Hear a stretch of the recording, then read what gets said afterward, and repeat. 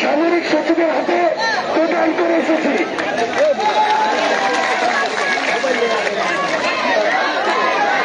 মাননীয় রাষ্ট্রপতি সামরিক সচিব নিশ্চিত করেছেন তিনি অতি দ্রুত আমাদের যে মেসেজটি আমাদের যে স্মারকলিপিটি সেটি মাননীয় রাষ্ট্রপতির কাছে পৌঁছে দেবেন আমাদের স্মারকলিপিতে আমরা স্পষ্ট করে আমাদের একটা উল্লেখ করেছি আমরা বলেছি বাংলাদেশের সরকারি চাকরিতে সকল গ্রেডে অযৌক্তিক ও বৈষম্যমূলক কোটাগুলোকে বাতিল করে সংবিধান অনুসারে শুধুমাত্র অনগ্রসর জাতিগোষ্ঠীর জন্য পাঁচ পার্সেন্ট কোটা রেখে সংসদে আইন প্রণয়ন করে আমরা বিশ্বাস করি মাননীয় রাষ্ট্রপতি রাষ্ট্রের সর্বোচ্চ আসনে থেকে সারা বাংলাদেশের ছাত্র সমাজের এই প্রাণের দাবিটি অতি সত্তর বাস্তবায়নের জন্য প্রয়োজনীয় সকল পদক্ষেপ গ্রহণ করবেন।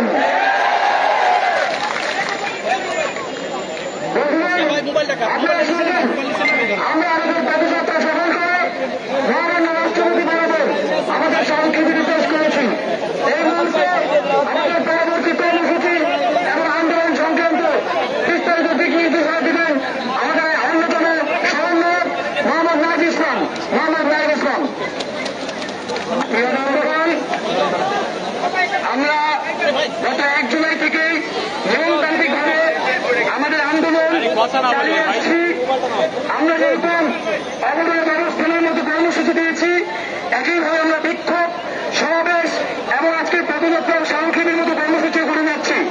আমরা স্পষ্টভাবে বলতে চাই যে কঠোর কর্মসূচির মাধ্যমে জনদুর্ভোগ করা আমাদের উদ্দেশ্য নয়।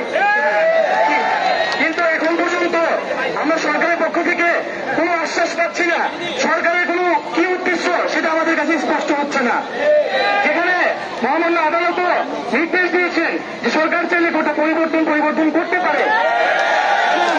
যেখানে আমরা বলছি যে আঠারো সালের পরিপত্র নয়, সকল রিটেই গোটা সংস্কারের যে এখতিয়ার, সেটি কেবল সরকারের এখতিয়ার। বলা হচ্ছে, আমরা নাকি দাবি পরিবর্তন করছি। আমরা নাকি কার কাছে দাবি করব সেটাও পরিবর্তন করছি। আমরা প্রথম থেকে আমাদের বক্তব্য খুবই স্পষ্ট। গোটা সংস্কারের এখতিয়ার সরকারের, সেটা আমরা প্রথম থেকেই বলেছি, নির্বাহী বিভাগ এবং সরকারের। বরং সরকারই সেই দায় এড়ানোর চেষ্টা করেছে।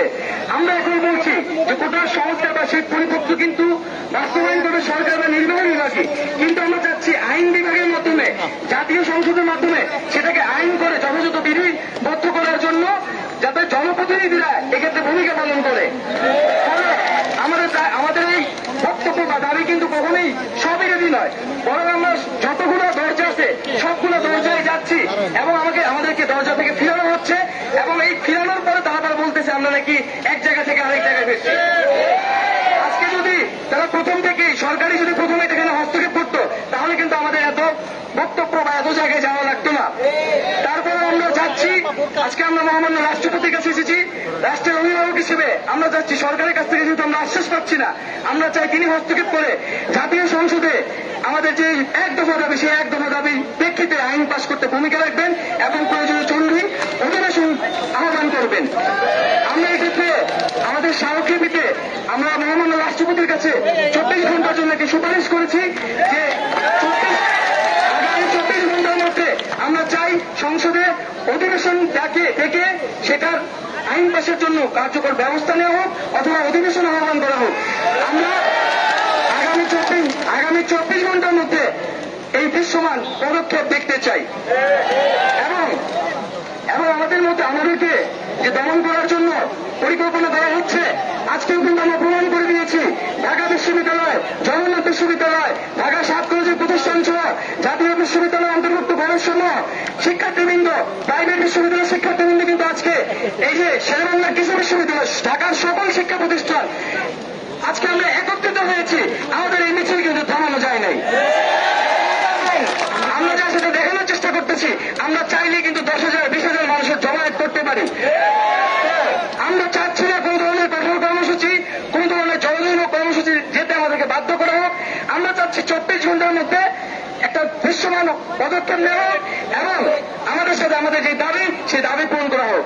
আমরা আগামী চব্বিশ ঘণ্টা পর্যবেক্ষণ করব সরকারের তরফ থেকে, মহামান্য রাষ্ট্রপতির তরফ থেকে এবং দায়িত্বশীল ব্যক্তিদের পক্ষ থেকে কি ধরনের বক্তব্য এবং পদক্ষেপ আসছে, সেটি আমরা পর্যবেক্ষণ করে আমরা পরবর্তী আমাদের কর্মপরিকল্পনা ঠিক করব।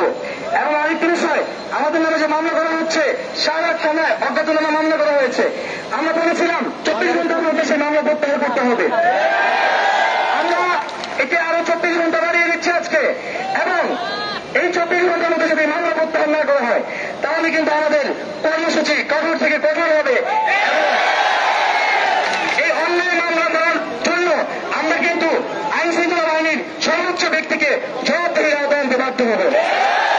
বন্ধুগণ, আজকের কর্মসূচিতে যারা এই রৌদ্র বৃষ্টি ঝড় এসেছেন, সবাইকে ধন্যবাদ জানাচ্ছি।